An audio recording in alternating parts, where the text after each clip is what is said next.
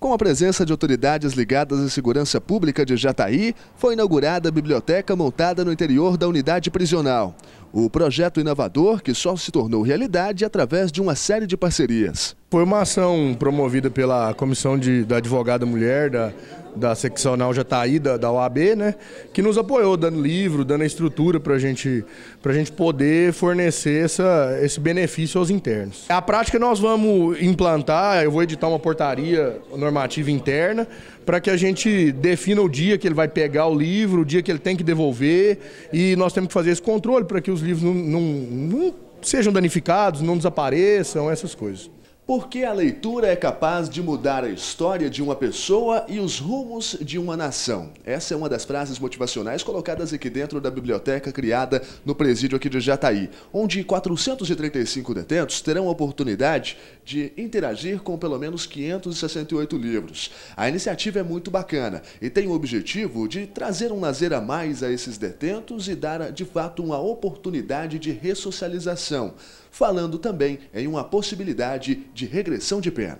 A iniciativa de construção desse espaço foi da Comissão da Mulher Advogada da OAB Subseção de Jataí. Olha, a gente sentiu que as presas é, femininas, né, elas é excluídas da sociedade. Então a gente achou que poderia contribuir de alguma forma. E o projeto inicial era dar um livro para cada presa. Aí, conversando com o Danilo, ele falou assim, por que não estender, né? Vamos montar uma biblioteca. Aí a gente comunicou à sociedade, pediu livros, fomos muito apoiados, né? Conversou com o doutor Inácio, com o Danilo, com o Toninho, que é o presidente da OAB. Então, assim, e minha comissão apoiou bastante, nos ajudando, é, organizando os livros. Na oportunidade, foi homenageado o advogado Wilson Veado Filho, que deu nome a esse espaço literário no interior do presídio.